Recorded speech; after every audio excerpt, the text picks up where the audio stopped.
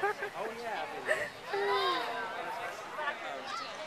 this one is going to be in the WNBA. But she, yes, right? she is so talented. My name's Joy Rainey, and I'm an OC alum, and I've been teaching at Western Village off and on for over 10 years now.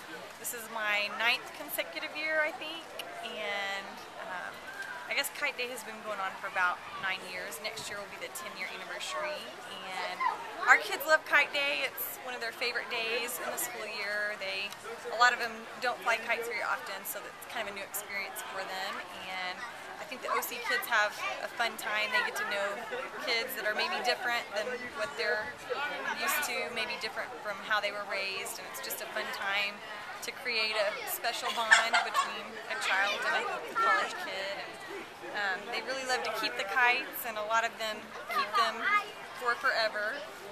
And they enjoy getting a free lunch in a styrofoam box. That's exciting for them too. And it just makes me proud to be an OC alum to come back and see the service, the heart of service, the nature of service that OC strives to um, put within its students and that drive that the students come to school having and it just makes me proud to have been a part of OC.